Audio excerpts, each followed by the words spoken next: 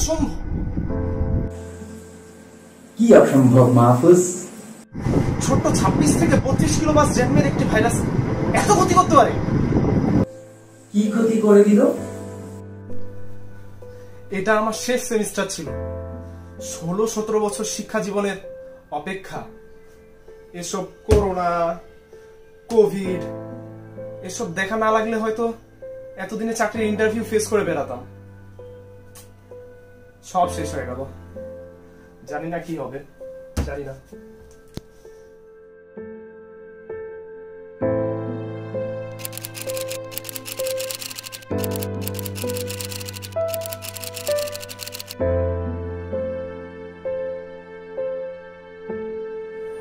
যেখানে আমার স্বপ্ন ছিল, আমার কারণে আর হাজারটা পরিবার চলবে। অনেক অসহায় মানুষের চাকরি হবে আমার প্রতিষ্ঠানে। আজ সেখানে পাঁচশো আশি জনের কথা চিন্তা করে বিশ জনকে ছাঁটাই করতে হচ্ছে আমার। এই বিশ জনকে ছাঁটাই করতে আমার খুব কষ্ট হচ্ছে।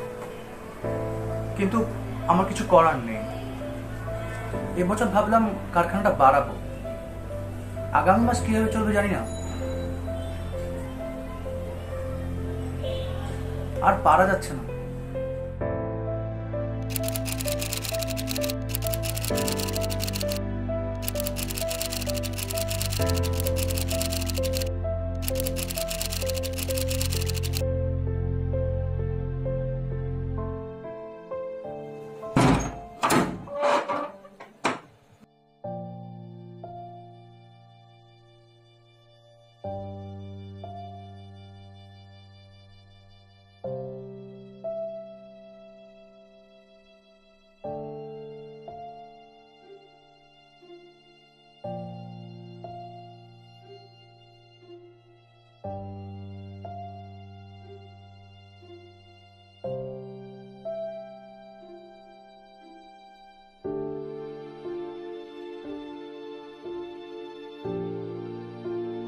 নাই।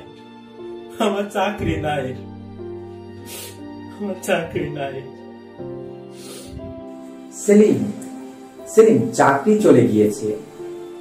জীবন অর্থহীন হয়ে যায়নি এখনও। টানা দুইটা বছর। মানে চব্বিশটা মাস।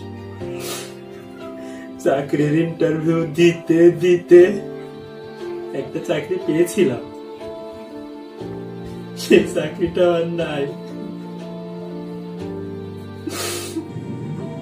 তোমার একার না সেলিম কোটি মানুষের চাকরি চলে গিয়েছে পুরো পৃথিবী জুড়ে। তাই বলে জীবন থেমে যাবে না?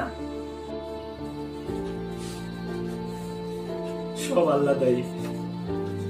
সব আল্লাহ দায়ী। এখন তুমি কি করতে চাচ্ছ?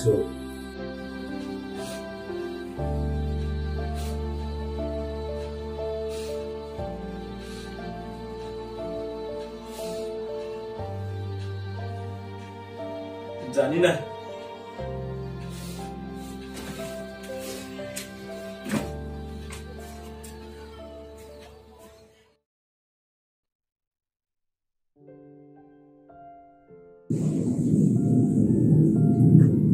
দিনে বিশটা সিগারেট কে খেত মাহফুজ?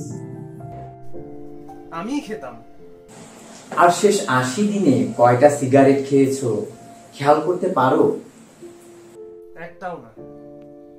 এত মানুষ জোর করে তোমায় পারল না সেই তুমি সিগারেট খাওয়া ছেড়ে দিয়েছ। হুম। প্যারা চাপ সেমিস্টারের প্রেসার এই কথাগুলো কি তুমি প্রতিনিয়ত বলতে না? আমিই বলতাম সেমিস্টার ব্রেকের জন্য মরুভূমির ভরদুপুরের পথিকের মতো হাহাকার করতাম। তাও বর্তমান পরিস্থিতির সমালোচনা করি আমরা। না উচিত হয় তবে সিগারেট ছেড়ে বিশুদ্ধ হৃৎপিণ্ড আর ব্যস্ততা ছেড়ে লম্বা অবসর। বাহ, ওই চায়ের বদলে এখন আদা পানি? আর মাংসের বদলে ডিমটা? এতটুকু মানিয়ে নেওয়া যাবে।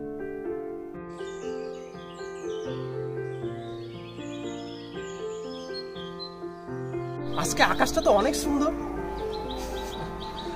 আজকে অনেকদিন পর অনেক ভালো লাগতেছে।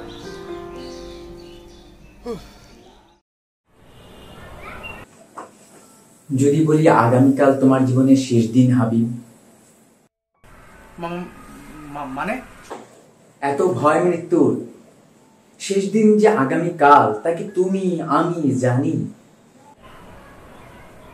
আশ্চর্য। সেটা তো কেউই জানে না। তাহলে আগামী মাসের চিন্তা কেন করছ? জানি না। আমরা আকাঙ্ক্ষাকে ছাড়তে চাই না যতক্ষণ নিঃস্ব না হই। তা ঠিক। তুমি কি কিছু করনি? তুমি তোমার স্বপ্ন অনেক দূর পূরণ করেছ এখন শুধু সামনে এগিয়ে যাওয়ার পালা। একটা মিষ্টি শরবত বানাবো। কিন্তু তরলের উপস্থিতি উপেক্ষা করে? যেখানে জীবনই অনিশ্চিত, সেখানে একা বাঁচাটা কি বোকামি? না। কেউই জানে না কে কবে মরবে। তাই বলে তো হাল ছেড়ে দিব না আমরা। তুমি তুমি ইতিমধ্যেই একজন সফল উদ্যোক্তা এবং তুমি শত পরিবারের অভিভাবক। আর এই যে তোমার যে মন কাঁদছে বিশ জন মানুষকে ছাঁটাই করতে। এটাই তোমার ভেতরে মানবিকতার প্রকাশ। তা বটে। তাহলে এখন কি করা উচিত? চিন্তা করো। সবাইকে নিয়ে বাঁচতে হবে। এই সমাজ যেমন আমার অংশ আমিও সমাজের অবিচ্ছেদ্য অংশ। আলাদা বাঁচতে গেলেই জীবন তার প্রাণ হারাবে। হ্যাঁ আমি না, আমরা আমরা বাঁচবো, একসাথে বাঁচবো। আমি জানি এই বিশ জনের কষ্ট হচ্ছে, কিন্তু এদেরকে চাকরি থেকে ছাড়াই করতে আমারও কষ্ট হচ্ছে।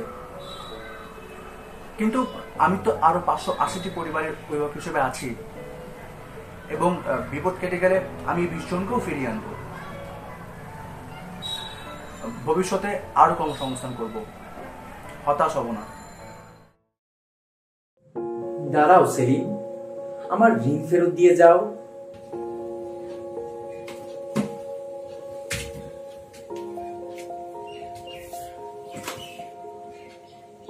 কি তোমার পাওনা? তোমার আত্মীয় স্বজন বন্ধু বান্ধবদের মধ্যে তোমার দখল করা সেলিম নামক জায়গা। তুমি প্রকৃতির নিয়ম ভেঙে চলে গেলে যে জায়গাগুলো হাহাকার করে আর্তনাদ করে উঠবে।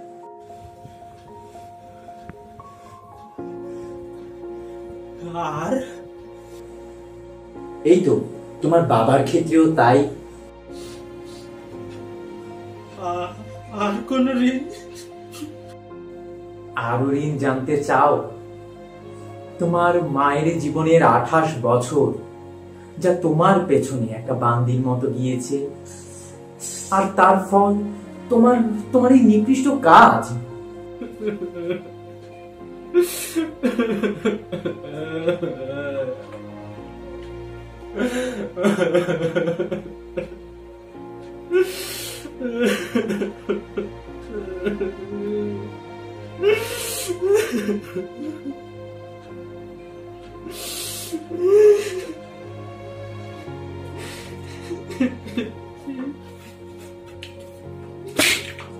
Ma.